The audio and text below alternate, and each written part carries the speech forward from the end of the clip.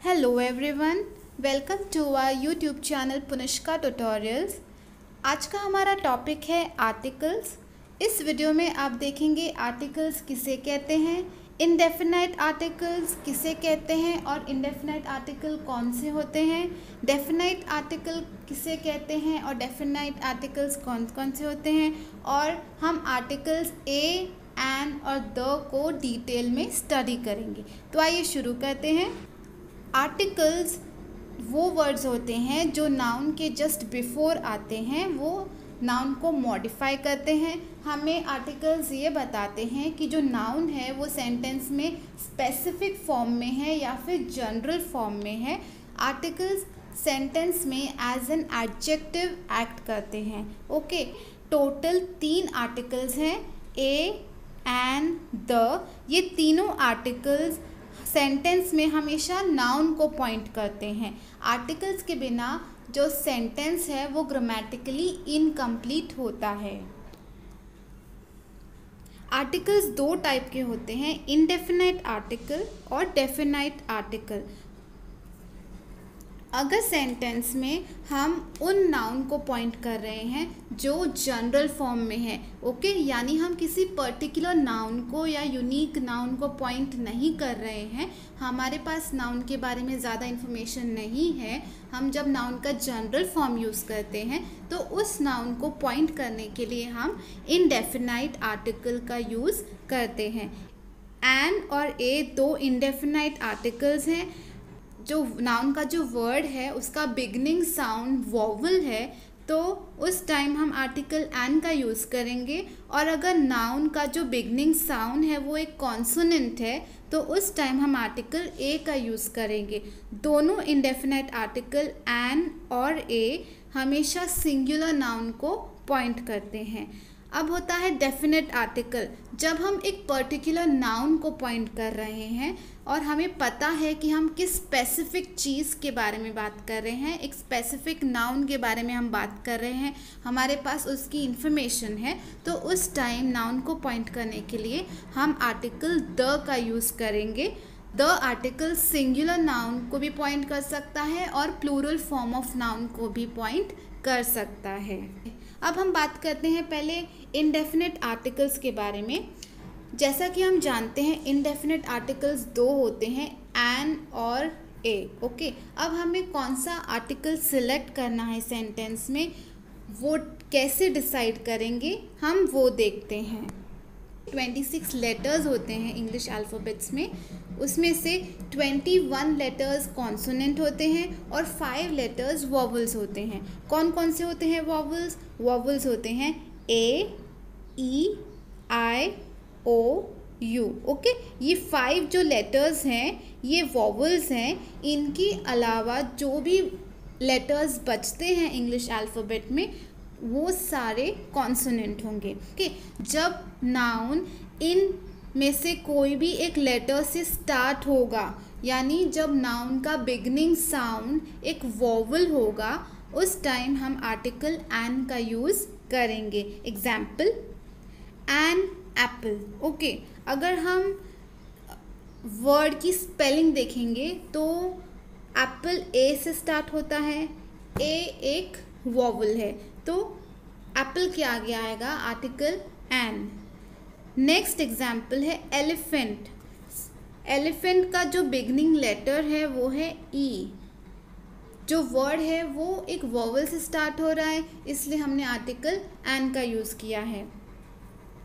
Next है igloo okay igloo में जो इग्लू जो वर्ड है, उसका स्टार्टिंग अल्फ़ाबेट है आई और आई एक वॉवल है, इसलिए हमने आर्टिकल एन का यूज़ किया है। अगर हम साउंड ओके बिगनिंग साउंड के थ्रू हम चेक करें तो हम कैसे पता करेंगे? अभी नेक्स्ट वर्ड है ऑक्टोपस ओके ऑक्टोपस का बिगनिंग साउंड क्या है? ओ ओके और ओ जो साउंड है, वो कौन से अल्फ़ाबेट का है? Alphabet O okay letter O का जो साउंड है वो है ओ और ओ जो है वो एक वॉवल है, इसलिए हम आर्टिकल एन का यूज़ करेंगे ऑक्टोपस के साथ एन ऑक्टोपस अगर जो नाउन है उसका बिगनिंग साउंड एक वॉवल है या वर्ड्स जो हैं वो वॉवल्स से स्टार्ट होते हैं, इन फाइव लेटर्स में से कोई भी एक लेटर से स्टार्ट होते हैं तो उस टाइम हम आर्टिकल एन का यूज़ करेंगे। अब इसमें एक एक्सेप्शन होता है। हम अगर ऐसे वर्ड्स को पॉइंट करते हैं, जो स्टार्ट एच से होते हैं, लेकिन वहाँ पे एच साइलेंट है ओके और नेक्स्ट जो एच के बाद लेटर है, वो एक वॉवल है तो हम उस लेट उस वर्ड को पॉइंट करने के लिए आर्टिकल एन का यूज़ करेंगे। Example Seema left an hour before today. अब आर जो वर्ड है उसमें एच साइलेंट है ओके? okay, और नेक्स्ट जो लेटर है वो है वॉवल। ओके? नेक्स्ट जो लेटर है वो है वॉवल। और साउंड से स्टार्ट हो रहा है इसलिए हमने आर के आगे लिखा है एन। सिमिलरली ऑनेस्ट में भी एच साइलेंट है O honest okay vowel sound हो रहा है तो बिगनिंग साउंड ओ का गिना जाएगा। इसलिए हमने आर्टिकल एन यूज़ किया है ऑनेस्ट वर्ड के साथ। यानी अगर ऐसे वर्ड्स को पॉइंट करता है आर्टिकल जिसमें एच साइलेंट है और एच के जस्ट बार एक वॉवल आता है तो बिगनिंग साउंड हम वॉवल का कंसिडर करेंगे और जो आर्टिकल जो उस नाउन को पॉइंट करेगा, वो होगा आर्टिकल एन अब हम देखते हैं आर्टिकल ए का यूज़ हम कब करेंगे? अगर हम सेंटेंस में एक ऐसे नाउन को पॉइंट कर रहे हैं, जिसमें नाम का जो जिसमें नाउन का जो वर्ड है, वो एक कॉन्सोनेंट से स्टार्ट होता है। यानी जो वर्ड है, उसका बिगनिंग साउंड एक कॉन्सोनेंट का है। तो उस टाइम हम आर्टिकल ए का यूज़ करेंगे। Example table okay table start होता है अल्फ़ाबेट या फिर लेटर टी से। और टी एक कॉन्सोनेंट है, इसलिए हमने टी के आगे यूज़ किया है आर्टिकल ए टी का साउंड है ट ओके तो कॉन्सोनेंट का साउंड है ट नेक्स्ट एग्ज़ाम्पल है गर्ल वर्ड है, उसका बिगनिंग साउंड क्या है? ग ग कौन सा अल्फ़ाबेट या कौन से लेटर को पॉइंट करता है? जी जी एक कॉन्सोनेंट है, इसलिए हमने जी के आगे यूज़ किया है आर्टिकल ए ओके ए जिसे हम अ भी बोलते हैं। अ गर्ल नेक्स्ट है बुक बिगनिंग साउंड है इस वर्ड का ब ओके ब ब साउंड है बी लेटर का और बी एक कॉन्सोनेंट है, इसलिए हमने बुक के साथ आर्टिकल अ का यूज़ किया है a book similarly a peacock okay noun का जो वर्ड है, वो अगर कॉन्सोनेंट साउंड से बिगिन होता है तो उस टाइम हम आर्टिकल ए का यूज़ करेंगे उस नाउन को पॉइंट करने के लिए। अब इसमें भी एक एक्सेप्शन है। यू का साउंड होता है अ। कुछ वर्ड्स होते हैं जो यू से स्टार्ट होते हैं, पर उसका साउंड होता है यू य ओके य कौन से लेटर का साउंड है? य साउंड है लेटर वाई का। जैसे यूनिवर्सिटी यूनिवर्सिटी तो बिगनिंग साउंड क्या आता है? य ओके य कौन से लेटर का साउंड है? वाई वाई एक कॉन्सोनेंट है, इसलिए हमने यूनिवर्सिटी के आगे आर्टिकल ए का यूज़ किया है। Similarly uniform unit unicorn useful okay इन वर्ड्स के आगे यूज़ करेंगे आर्टिकल ए अब हम बात करते हैं डेफिनाइट आर्टिकल के बारे में डेफिनाइट आर्टिकल सिर्फ़ एक ही होता है ओके द द एक डेफिनाइट आर्टिकल है द का यूज़ हम तब करते हैं जब हमारे पास जो नाउन है सेंटेंस में जिसको हम पॉइंट कर रहे हैं, वो स्पेसिफिक है। एक पर्टिकुलर नाउन है और उसकी इंफॉर्मेशन हमारे पास है ओके हम श्योर हैं कि हम इस पर्टिकुलर नाउन के बारे में बात कर रहे हैं। इस, उस टाइम पे सेंटेंस में उस नाउन को पॉइंट करने के लिए हम आर्टिकल द का यूज़ करेंगे। द जो स्पीकर है या फिर जो भी राइटर है, जो उस नाउन को पॉइंट कर रहा है, उसकी नाउन की इंफॉर्मेशन उस पर्सन के पास ऑलरेडी है ओके या फिर उस चीज़ को ऑलरेडी हमने सेंटेंस में इंट्रोड्यूस कर दिया है,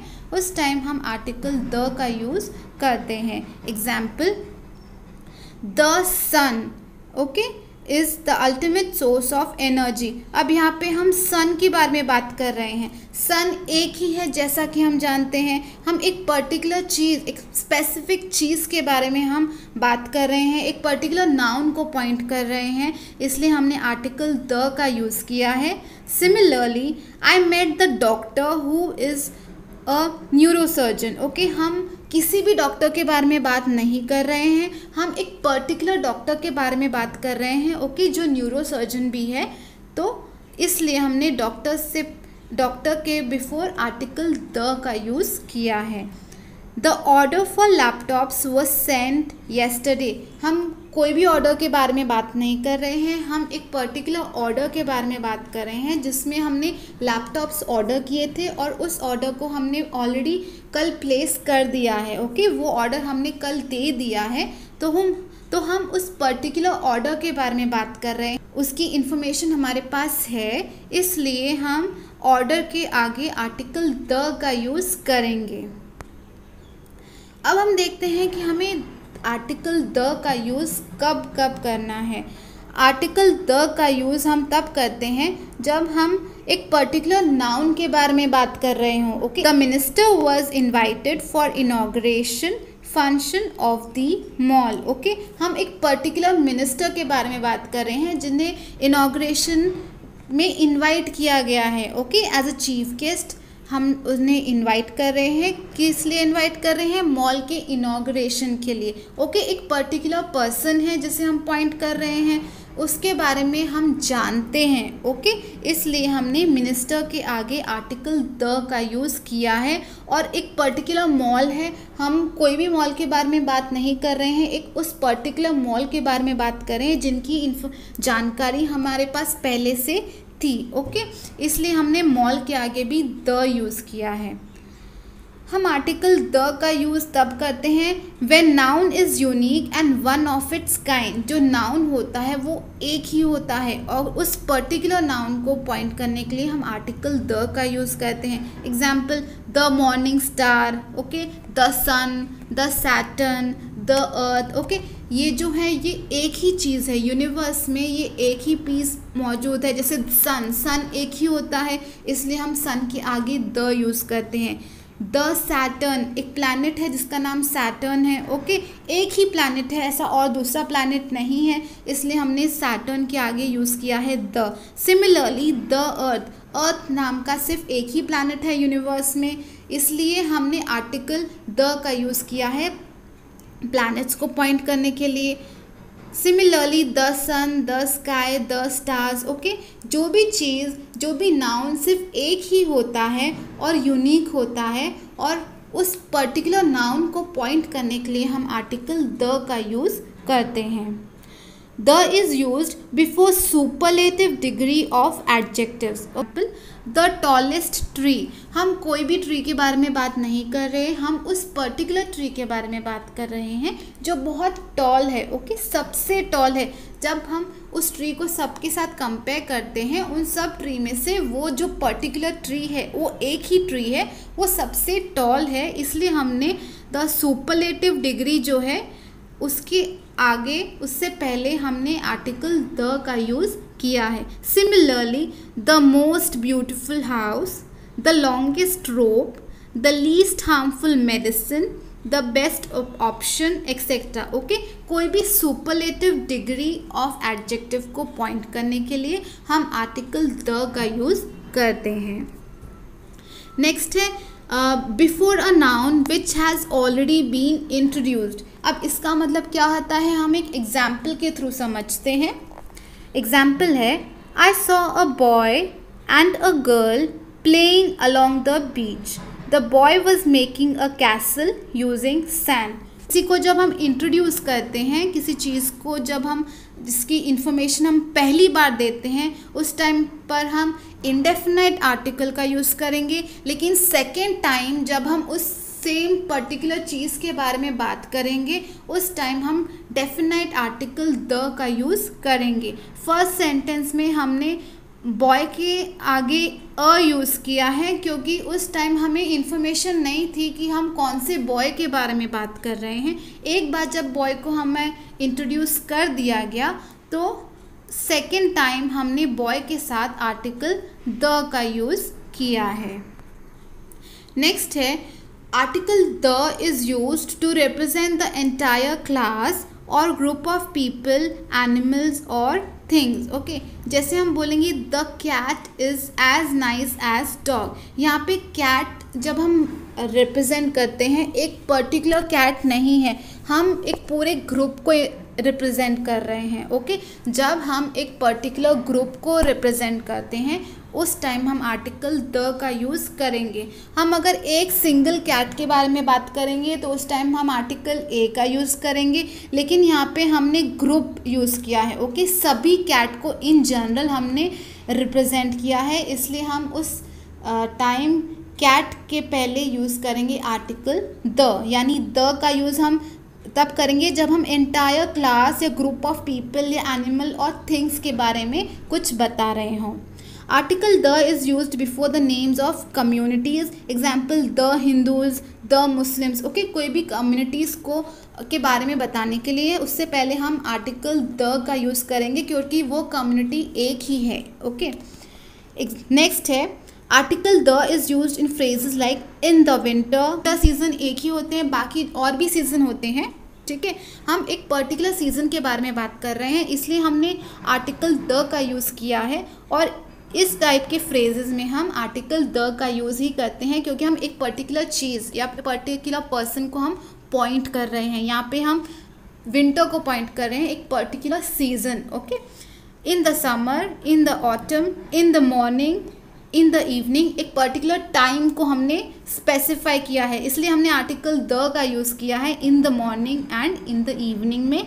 Similarly in the afternoon in the night next है article the is use before the names of sacred books newspapers rivers well known buildings mountain ranges seas ocean islands etcetera okay एक particular चीज़ जो होती है, जो universe में सिर्फ़ एक ही है यूनिक है, उस टाइप के नाउन को रिप्रेजेंट करने के लिए हम आर्टिकल द का यूज़ करते हैं। एग्ज़ाम्पल जो होली बुक्स होती हैं हमारी, उनके आगे हम आर्टिकल द का यूज़ करते हैं। Example the Bhagavad Gita the Bible the Guru Granth Sahib the Quran okay ये सब क्या है? होली बुक्स हैं और इनको रिप्रेजेंट करने के लिए हम आर्टिकल द का यूज़ करेंगे। सिमिलरली जो न्यूज़पेपर्स होते हैं, उनके आगे भी हम आर्टिकल द का यूज़ करते हैं। Example the Times of India the Indian Express the Hindustan Times the New York Times etcetera जो रिवर्स होती हैं, उनके नाम के आगे भी हम आर्टिकल द का यूज़ करते हैं, क्योंकि जो भी रिवर होती है, सब रिवर का अलग अलग अपना नाम होते हैं, होता है ओके और एक पर्टिकुलर रिवर को जब हम पॉइंट करते हैं तो उससे पहले भी हम आर्टिकल द का यूज़ करते हैं। Example the Ganga the Nile the Yamuna the Narmada etcetera mountain ranges को पॉइंट करने के लिए हम आर्टिकल द का यूज़ करते हैं। Example the Himalayas the Western Ghats the Nilgiris okay oceans के नाम को पॉइंट करने के लिए भी हम आर्टिकल द का यूज़ करेंगे। The Indian Ocean the Antarctic Ocean the Atlantic Ocean okay जो भी चीज़ यूनिवर्स में यूनिक है, एक ही है उन सभी चीज़ों को पॉइंट करने के लिए हम आर्टिकल द का यूज़ करेंगे ओके okay? एक पर्टिकुलर ग्रुप को रिप्रेजेंट करने के लिए भी हम आर्टिकल द का यूज़ करेंगे example the rich the poor okay the rich जो भी लोग बहुत अमीर हैं ओके okay? उन सबको एक साथ हम जब एज अ ग्रुप हम रिप्रेजेंट करते हैं तो उस टाइम हम आर्टिकल द का यूज़ करते हैं similarly the poor the middle class okay when of is a part of the school और universities name the Institute of Chartered Financial Analyst of India the University of Calcutta okay इन सब में आप देखेंगे कि नाम में ऑफ़ भी आता है। इसलिए उनके नाम को रिप्रेजेंट करने के लिए पॉइंट करने के लिए हम आर्टिकल द का यूज़ करेंगे।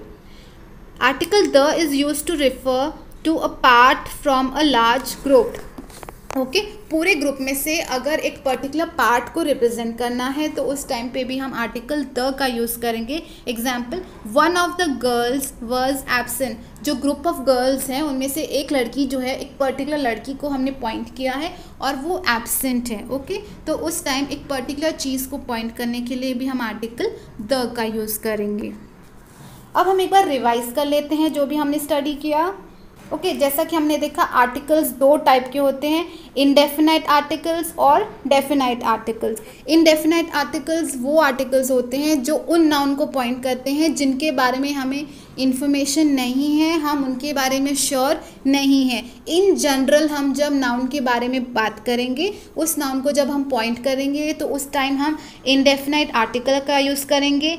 ए और एन दो इनडेफिनाइट आर्टिकल्स होते हैं। एन का यूज़ हम तब करते हैं जब नाउन जो है उसका बिगनिंग साउंड एक वॉवल होता है। आर्टिकल ए का यूज़ हम तब करेंगे जब नाउन का जो बिगनिंग साउंड है वो एक कॉन्सोनेंट है और इनडेफिनेट आर्टिकल्स एन और, अ, हमेशा एक सिंगुलर फॉर्म ऑफ़ नाउन को रिप्रेजेंट करते हैं। नेक्स्ट है डेफिनेट आर्टिकल्स डेफिनेट आर्टिकल्स का यूज़ हम तब करते हैं जब हम नाउन के बारे में श्योर होते हैं ओके हमारे पास नाउन की इंफॉर्मेशन होती है। उस पर्टिकुलर नाउन को पॉइंट करने के लिए हम आर्टिकल द का यूज़ करते हैं ओके जो नाउन है, जो यूनिवर्स में सिर्फ़ एक ही है ओके उस टाइप के जो नाउन है, उनको रिप्रेजेंट करने के लिए भी हम आर्टिकल द का यूज़ करेंगे। आर्टिकल द सिंगुलर फॉर्म और प्लूरल फॉर्म दोनों टाइप के नाउन को रिप्रेजेंट करता है। अब हम प्रैक्टिस एक्सरसाइज कर लेते हैं ताकि हमारा जो कॉन्सेप्ट है, वो थोड़ा और क्लियर हो जाए। इन ब्लैंक्स में हमें अप्रोप्रिएट आर्टिकल्स को यूज़ करना है और हमें क्लासिफाई करना है कि जो आर्टिकल हमने यूज़ किया है वो इनडेफिनाइट है या फिर डेफिनाइट डेफिनाइट आर्टिकल्स के लिए हम डी लिखेंगे और इनडेफिनाइट आर्टिकल्स के लिए हम आई लिखेंगे। स्टार्ट करते हैं फ़र्स्ट एग्ज़ाम्पल से। We saw dash girl riding a horse okay जैसा हम देख सकते हैं कि जो गर्ल है वो सिंगुलर फॉर्म में है और हमें पता नहीं है कि कौन सी गर्ल है।